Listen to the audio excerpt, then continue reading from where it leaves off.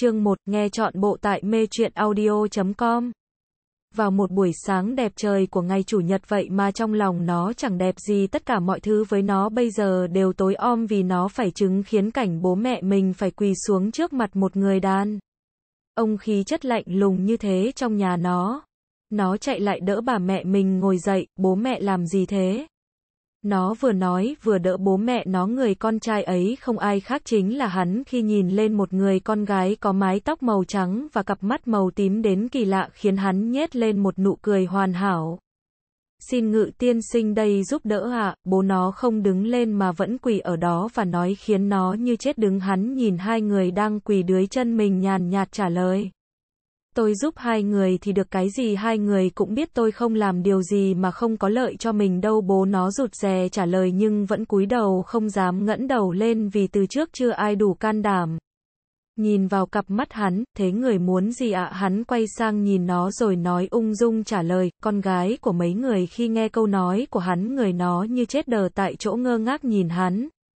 nhưng ngược lại với nó bố mẹ nó không sợ sệt nữa mà vui hẳn lên nó quay sang nhìn bố mẹ mình rồi cũng biết câu trả là gì, được câu trả lời chắc chắn của bố mẹ nó khiến nó càng hụt hẳn thêm. Không được con không đồng ý, nó nói, tại sao con nên nhớ người đã cứu sống con là ta gia đình này đã nuôi con cũng mười mấy năm rồi con cũng phải trả ơn ta chứ, mẹ nó lên tiếng, nhưng con. Nó chưa nói hết câu thì ba nó nói, đồ thứ con bất hiếu mày.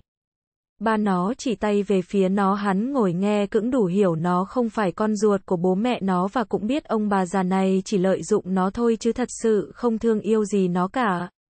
Hai ông bà thôi được rồi đấy, đưa cô ấy về trước, nói rồi hắn cho người đem nó về nhà, nó như người mất hồn mặt cho ai làm gì thì làm khi chiếc xe BMW của hắn đưa nó đi hắn quay lại rồi nói.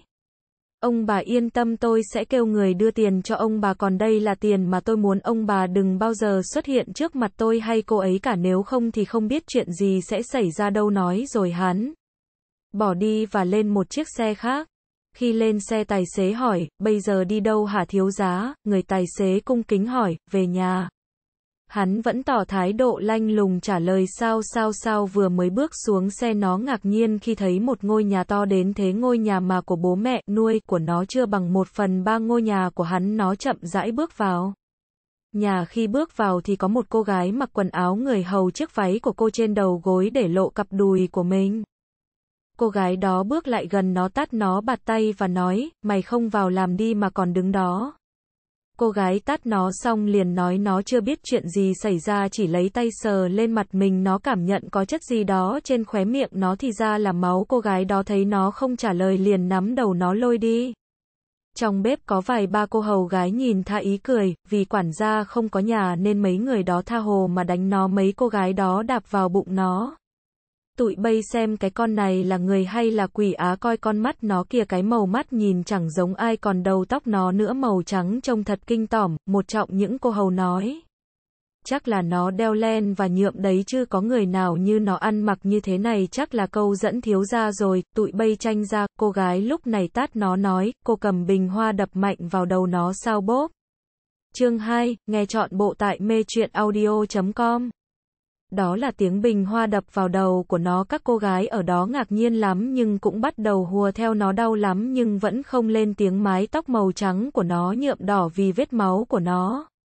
Lúc đó tiếng xe được dừng lại trước cửa nhà hắn. Hắn bước xuống xe thì nghe bên trong có tiếng cười đùa hắn bước vào trong thấy nó đang nằm dưới sàn quần áo sọc sệt và trên sàn có một dũng máu hắn nhíu mày, các cô làm gì vậy hả? Hắn dường như hét lên các cô gái dừng tay lại quản gia nghe thấy chạy lại hắn đi lại phía mấy cô gái tát cho mỗi người một cái rồi đỡ nó lên phòng trước khi khi còn để lại câu nói khiến mọi người ai cũng sợ, các cô chuẩn bị đi, hắn nói sao sao sao sao sao trong phòng khi hắn đặt nó xuống chiếc giường lớn trong phòng lúc đó nó ngất đi rồi thấy vậy hắn sai quản gia kêu bác sĩ đến. Trong lúc đó hắn đi lại tủ áo lấy chiếc áo sơ mi trăng phọt dày của hắn định mặc vào cho nó, hắn đi lại chỗ nó nhẹ nhàng gỡ từng nút áo của nó ra, hắn một tay đỡ nó, một tay gỡ nút áo nó. Vì lúc đầu nó mặc chiếc áo sơ mi cùng chiếc váy nên không cần phải thay váy, hắn để chiếc áo sơ mi nó một bên liền thấy làn da trắng mịn của nó, trong lúc đó quản gia cùng bác sĩ chạy vào mà không rõ cửa. Vì nghe có vẻ khá gấp, vừa chạy vào thì nhìn thấy cảnh sao sao sao ra ngoài. Hắn hét lớn thật ra thì hắn biết ông bác sĩ và quản gia chưa thấy gì hết nhưng vì trong lòng rất khó chịu sau khi hắn mặc áo đàng hoàng cho nó thì đi ra ngoài kêu bác sĩ vào hắn đứng nhìn ông bác sĩ. Khám cho nó, cô ấy không sao chỉ là vết thương ở chân có vẻ khá nặng nên đừng cho cô ấy đi lại nhiều, ông bác sĩ nhàn nhạt trả lời, còn gì nữa không, hắn nhíu mày hỏi, không ạ, ông bác sĩ sợ sệt trả lời. Quản gia ông kêu người đưa ông ấy về và nấu cháo nào dễ ăn cho cô ấy tôi có chút việc. Nói rồi anh quay người rời đi anh bước lên xe chạy thẳng tới hắc đạo con đường vào hắc đạo phải chạy vào trong rừng. Anh bước xuống xe đám vệ sĩ đứng trước cửa cuối đầu chào, nó đâu, câu nói rất ngắn gọn nhưng vẫn khiến cho người khác ớn lạnh xương sống, phòng 302. Tên vệ sĩ đáp hắn bước vào phòng 302 nhìn đám con gái ấy rất thảm nhìn lướt qua hắn nhét môi với một nụ cười khinh bỉ đâu là kết cục cho những kẻ dám làm hại nó. Các cô biết người mà các cô đụng là ai không? Giọng nói lạnh lùng của hắn khiến cho tất mọi thứ đều im lặng, nói, hắn bắt đầu rằng giọng, dạ không, một cô hầu gái mở miệng nói. Vậy để tôi cho các cô biết cái người mà các cô đánh sắp chết á là vợ tôi, giọng nói trầm xuống tất cả mọi người ở đó đều ngạc nhiên khi thấy người máu lạnh như hắn mà cũng có vợ sao, tôi xin lỗi. Tất cả các cô gái cúi đầu xuống xin lỗi, vậy thì vợ tôi sao đây, hắn nói hắn lấy trong túi ra một con dao đâm vào trong đùi của một cô gái máu từ từ phun ra, thiếu ra xin người tha cho. Cô gái bị đâm nói hắn nhìn với cặp mắt khinh bỉ, thế lúc các người đánh vợ tôi cô ấy có xin các người tha không? Không nói nhiều đem nó vào cho tôi hắn vừa nói xong có một tên vệ sĩ đem con chó sói thân hình to lớn vào khi đám con gái nhìn thấy những giọt mồ chảy xuống. Hắn quay lại nhìn con sói mà anh đã huấn luyện rất lâu. Chương 3, nghe chọn bộ tại mê truyện audio.com Hắn đi lại bên con chó sói ngồi xuống xoa đầu con chó sói xong khẽ nói, thấy nó không cần chó sói gật đầu như là nói hiểu con chó sói đi lại phía đám con gái từ từ cắn vào. Hắn bước ra khỏi phòng tên vệ sĩ ngửi thấy mùi tanh của máu, cảm thấy buồn nôn như phải chờ cho con chó sói ấy ăn xong rồi mới được đi sao sao sao khi hắn về tới nhà đi lên lầu thấy nó đang ngủ nên bước vào. Phòng tắm nó nghe tiếng nước chảy nên cũng thức dậy, nó nhìn quanh thấy căn phòng rất lớn, nó chắc là đây không phải phòng nó. Nó nhìn trên người nó đây không phải là áo của nó lúc đó tiếng nước chảy không còn nữa hắn bước ra choàng một áo choàng rất lớn và dài, em dậy rồi à? Hắn nói nó gật đầu hắn nhìn động tác của nó không buồn nhếch miệng lên cười, em không cần sợ tôi vậy đâu, hắn thấy nó không lên tiếng nên nói hắn đi lại ngồi xuống giường vén tóc nó lên, đi xuống ăn cơm. Nói rồi hắn kéo nó đứng lên vừa đứng lên nó té xuống hắn nhớ nó không thể đi lại được nên bế sốc nó lên nó hơi ngạc nhiên, anh bỏ xuống đi, nó nhìn hắn, chân cụ à em không đi được đâu. Hắn bế nó ra khỏi phòng khi đi xuống phòng ăn những người làm đều nhìn nó chăm chăm nó hơi ngượng hắn cũng không để ý tới mấy người ò đó đặt nó xuống ghế và kéo ghế kế bên nó ngồi đồ ăn được dọn lên. Bữa ăn trong không khí yên lặng đến đáng sợ ăn xong hắn bế nó lên phòng, em đi tăm đi rồi đi ngủ, hắn nhìn nó nói, không có đồ, nó nói giọng vô cùng ngọt ngào, đồ của em tôi để trong phòng tắm rồi. Hắn trả lời nó bằng giọng ôm nhoắn nói xong thấy nó vẫn ngồi ở đó nhớ lại nó không đi lại được đi lại bế nó lên đi vào phòng tắm, anh đi ra đi, nó, tại sao tôi phải đi ra, nhìn nó hắn bình thản trả lời. Không lẽ anh nhìn tôi tắm, nó giận đến đỏ mặt, cũng có thể lắm dù sao thì tôi với em cũng sắp thành vợ chồng rồi, hả?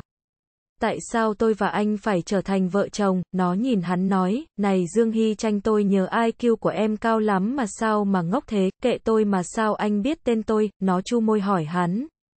Tôi là ai chứ muốn biết tên em là chuyện rất dễ, hắn dựa vào cửa trả lời nó, mà thôi anh đi ra đi, nó nhìn hắn cặp mắt rưng rưng nước mà tắn hoảng hốt đi lại gần nó. Em sao vậy ngờ hắn hỏi nó bắt đầu khóc lớn lên, anh. Hết, đờ, y, ra. Hết, âng, oai, có nghĩa là nó nói anh đi ra ngoài, hắn nghe nó nói chữ có chữ không phì cười từ trước tới giờ chưa có ai dám nói hắn như vậy chỉ có nó.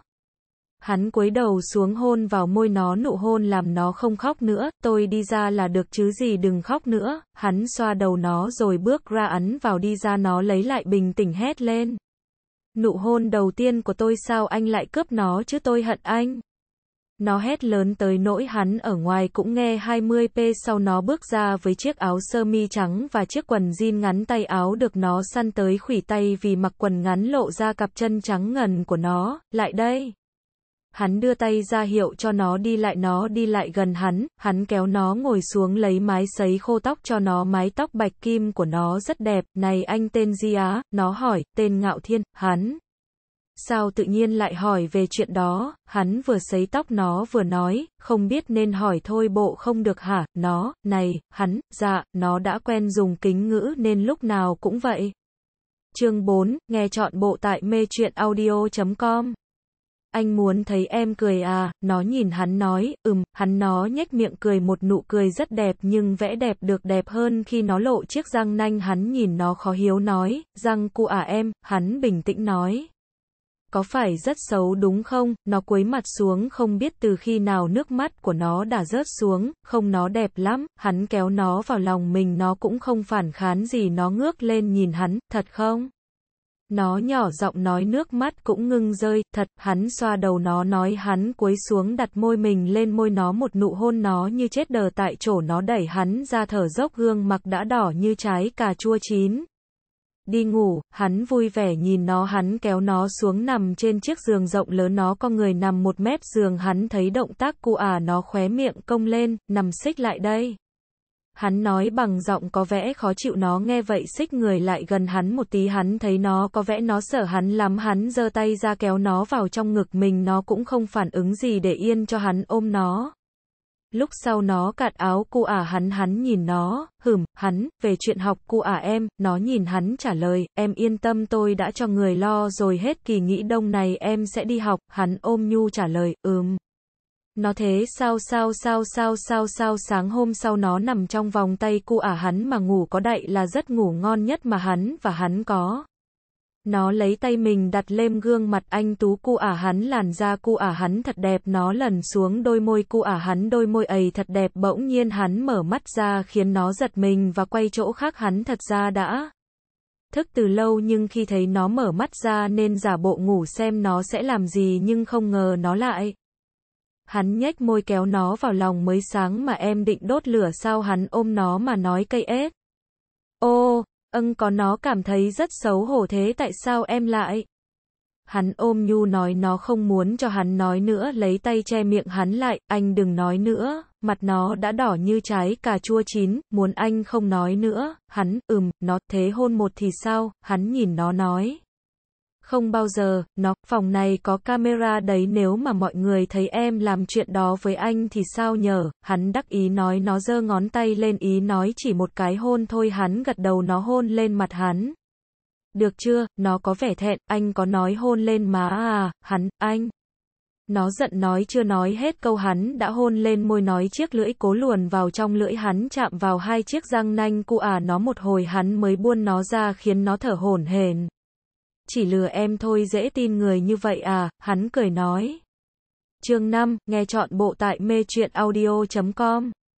Nó gật đầu liên lịa hắn cũng thua nó luôn nào đi VSCN đi hắn kéo nó đang nằm ngủ ưm vừa ngồi dậy nó lại ngã xuống rồi bắt đầu ngủ tiếp hắn thấy vậy đi vào phòng tắm trước. Khi hắn đi ra thấy nó vẫn nằm ngủ, hắn đi lại giường nói nhỏ vào tay nó, bây giờ em có dậy không nếu tôi điếm từ 1 tới 3 mà em không dậy thì tôi liền ăn em đấy hắn một. Hai. Hắn lấy tay áp má nó nói, nó nghe vậy, ngồi bật dậy cười một cái để lộ hai chiếc răng nanh rồi liền chạy vào phòng tắm.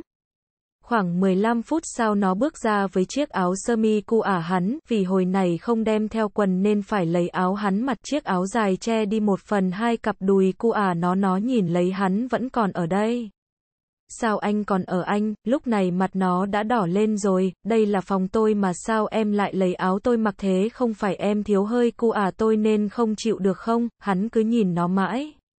tại vì không đem đồ nên em lấy áo anh mặc đỡ, nó lấy lại bình tĩnh nói, thật vậy sao, hắn đi lại gần nó, thật mà anh đi xuống đi, nó, tại sao tôi phải đi xuống, hắn ngồi xuống sofa nói. Thế em đi ra anh ở lại đây đi, nói rồi nó cầm quần áo đi ra nhưng hắn nhanh hơn đi lại khóa cả lại, anh cho em đi à? Hắn nghiêm giọng nói nói ngồi xuống đất tự nhiên hắn cảm thấy có gì đó không ổn nên ngồi xuống, này em sao thế? Hắn luống âng nói khi nghe hắn nói vậy nó khóc nấc lên hắn lấy tay lau đi những giọt nước mắt cụ ả nó, nói, hắn hơi nghiêm giọng, á. Hết, ác, hết, tạt, hết, ê ý là anh bắt nạt em, nó vừa khóc vừa nói, hả em nói gì tôi nghe không gõ, hắn khó hiểu nói, thôi tôi đi ra là được chứ gì ngoan nín đi. Hắn lau đi giọt nước mắt cụ ả nó hắn đi ra ngoài nó đi vào phòng tắm thay đồ. Khi nó đi xuống thì hắn ngồi ở nơi chủ trì cu à bàn ăn hắn mặc áo sơ mi đeo không đeo ca vát không cài hai nút áo lộ bộ ngực hoàn hảo ra. Nó thì mặc chiếc áo áo thua trắng và chiếc quần jean trông rất đơn giản, nhưng giá tiền mắt lắm nha đô la đô la, tóc nó cột cao lên trong nó rất xinh mà không cân son phấn, lại đây. Hắn nhìn nó vỗ đùi kêu nó lại ngồi nó cũng đi lại phía hắn ngồi lên đùi hắn. Những người hầu cảm thấy ngạc nhiên khi lần đầu hắn đối xử với người ngoài như vậy, ăn. Hắn đưa cho nó miếng sandwich nó cũng há miệng ra nhưng có vẻ hơi ngượng, anh đối với người giúp việc như vậy sao, nó nhìn những người giúp việc cảm thấy tôi cho họ, sao em có ý kiến à, hắn nhìn nó. Nhưng hình như họ chưa ăn gì, nó, em không cần lo nhiều về họ đâu, hắn, anh à, nó giọng ngọt ngào, ok ok, hắn cũng chịu thua nó, lâm quản gia ông và các người đó vào cùng ăn nào, hắn lạnh lùng nói. Dạ cảm ơn ông chủ và phu nhân, quản gia có gương mặt phúc hậu cảm thấy rất cảm kích nói mọi người bắt đầu vào ăn không khí khá ổn vì tiễn quầy cua nó. Ăn xong hắn để nó ngồi trên ghế ngồi xuống mang giày cho nó vì sợ nó đau chân nên hắn lấy giày Adidas cho nó xong nó cùng hắn đi ra xe BMW. Khi hắn đưa nó tới ngôi trường đại học do hắn đầu tư vào ngôi trường rất lớn có tất cả mọi thứ khi nó và hắn bước xuống xe tất cả ánh mắt đều nghiêng về nó và hắn, trời ơi gái đẹp kìa bay ơi, SS51. U đẹp quá, SS Nam 2, trời tim tao đâu mất rồi, SS Nam 3, cũng bình thường thôi mà, SS nữ 1, trời con nào nhìn như quái vật vậy, SS nữ 3, bla bla. Bla.